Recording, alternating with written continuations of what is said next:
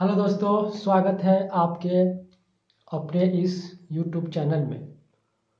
दोस्तों, बहुत सारे लोगों ने हमें कमेंट करके यह पूछ रहे थे कि लोको पायलट और टेक्नीशियन की जीडीसी की वैकेंसी कब आएगी? इसके बारे में हम लोगों को कुछ बताइए। तो दोस्तों, मैंने इसी सिलसिला में और मेरा कुछ पर्सनली काम था। इसके लिए मैं कल आरआरसी ऑफ़िस बिलासपुर में गया था।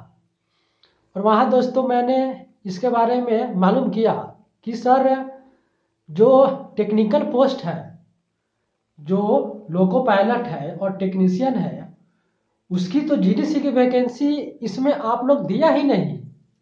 तो आप हमें यह बताइए कि इसकी वैकेंसी कब आएगी? दोस्तों मैंने वहाँ का जो बाबू है ऑफ़िस का, उनसे प्रश्न किया। बहुत ही निवेदन पूर्वक मैंने उनसे प्रश्न किया कि, सर, इसके बारे में कोई सूचना है तो हम लोग को बताइए। तो उन्होंने, दोस्तों, हमें बताया कि हाँ बाबू, आपने सही पूछा है कि जो अभी परीक्षा हुआ था स्टेशन मास्टर टीसी का और गुड्स गार्ड का, उसमें तो टेक्निकल पोस्ट की वैकेंसी नहीं दिया गया था या हमको भी पता है? तो मैंने उनसे पूछा कि, सर तो क्या हम लोग संभावना माने कि हाँ तो उन्होंने बोला कि हाँ बाबू, संभावना है से इस बार जो लोको पायलट और टेक्नीशियन की वैकेंसी है, वह आने की हंड्रेड प्रतिशत संभावना है। और उन्होंने बताया कि जो अभी एग्ज़ाम हुआ था, अभी जो एस एम का सी का और टीसी का एग्ज़ाम हुआ था, इसका रिज़ल्ट आएगा, बहुत जल्द आएगा। और इसका डॉक्यूमेंट वेरिफिकेशन होने के बाद जो लोको पायलट और टेक्नीशियन की वैकेंसी का जीडीसी की नोटिफिकेशन जल्द निकल जाएगा।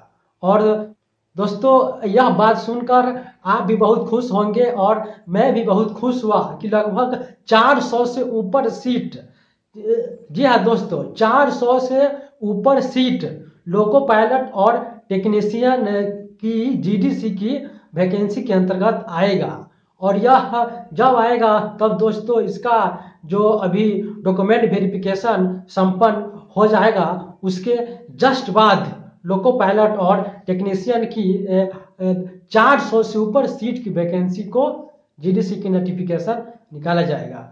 तो दोस्तों, यह बहुत बड़ी खुशखबरी है उनके लिए जो आईटीआई होल्डर है और जिनका इंटरमीडिएट में मैथ और साइंस है, उनके लिए यह बहुत ही बड़ा अपॉर्चुनिटी है। और दोस्तों, उनके लिए भी भी जिनका इसमें स्टेशन मास्टर और सीसी का जो एग्ज़ाम हुआ था, अभी जीडीसी का, उनमें उनका अच्छा एग्ज़ाम नहीं हुआ है। उनका सिलेक्शन होने की संभावना नहीं है। उनके लिए भी यह एक बहुत बड़ी अवसर है। तो दोस्तों, मैं आपसे यही बताना चाहूँगा लोग को अपनी तैयारी को जारी रखना है। आपको हार नहीं मानना है, आपको हिम्मत नहीं हारना है, आपको तैयारी जारी रखना है। दोस्तों, एक बहुत ही सुंदर कविता है मैथिली शरण गुप्त की, कि नर हो, न हो निराश, करो मन की कुछ काम करो, कुछ काम करो। तो दोस्तों, आप लोग नर हो आप लोग उदास नहीं होना है, आप लोगों को आगे बढ़ने के लिए, ज़िंदगी में आगे बढ़ने के लिए तो तैयारी करते रहना है संघर्ष करते रहना है। तो दोस्तों, यह बहुत ही अच्छी खबर है कि लोको पायलट और टेक्नीशियन की 400 से ऊपर सीट की वैकेंसी आने वाली है।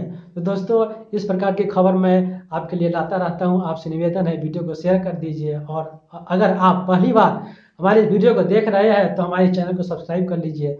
फिर आपसे इसी प्रकार की इंफॉर्मेटिव वीडियो में आपसे मिलूँगा। आपको धन्यवाद। नमस्ते।